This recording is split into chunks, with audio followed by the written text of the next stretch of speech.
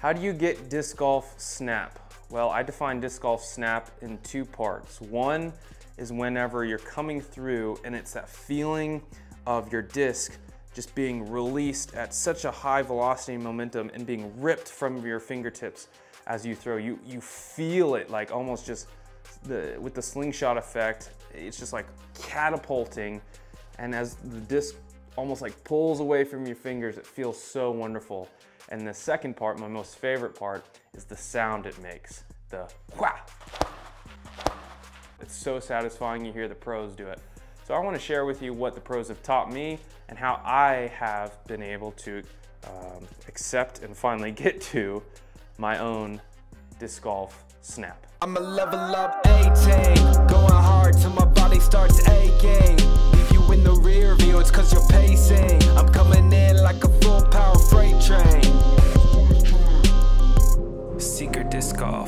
level up.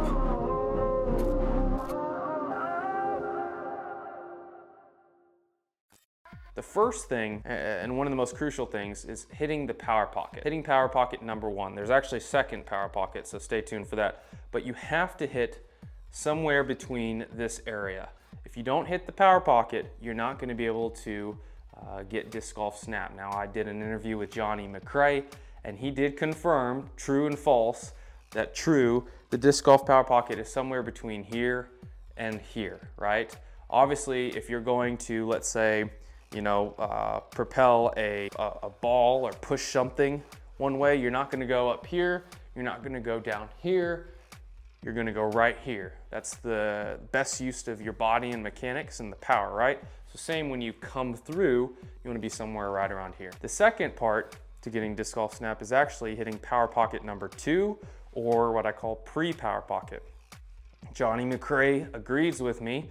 True, there is actually a second power pocket, you could call it. Envision a little bubble right over here that you wanna make sure that you hit. You don't wanna be down here, you don't wanna be up here.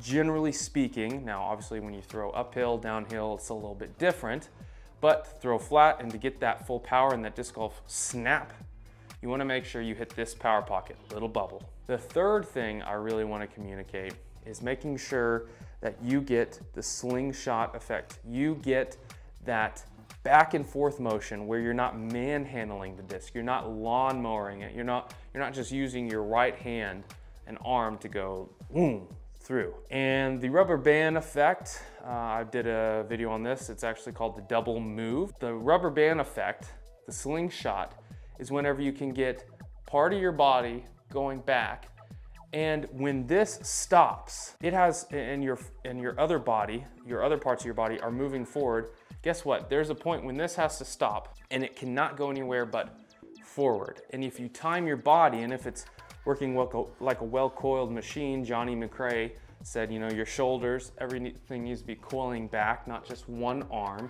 but uh, or shoulder, but two shoulders. And as Ezra Aderhold, and I did a video about this, is the disc is almost like staying in one place. It, at, at least that's the uh, kind of mindset that you need to keep yourself in. It's like almost illusion where you're walking around the disc. When your body's coming forward, guess what? It has no chance but to just to move forward at some point, right? Now there's different ways to do this. Calvin Heimburg doesn't necessarily go all the way back. He kind of stops right here and he doesn't necessarily do this full extension, right? Uh, Drew Gibson does, uh, Ricky Wysocki kind of does. There's all different ways to do it, but you have to be able to get that snap effect. And the left arm actually helps quite a bit with that snap effect because as you hit your back point, when you'll see all the pros do something like this, when they come down just a little bit, either down like this, down, uh, top to bottom like this, or over like McBeth, they do something. They do something to initiate this little motion right here. Just a little bit. And that is really one of the keys to get disc golf snap. And then you'll be able to really easily come up here and just boom. If you follow those three rules, uh, you'll really get disc golf snap and it takes months and months of training, but it has really worked for me. Now, I wouldn't be sharing this with you unless I knew for it to be true for me uh, and what the pros have taught me. And I've interviewed a lot of the pros, spent hours with them, and they've been really a blessing on my life. Hey, go to seekrdiscgolf.com, S-E-E-K-R, to join our online disc golf training program.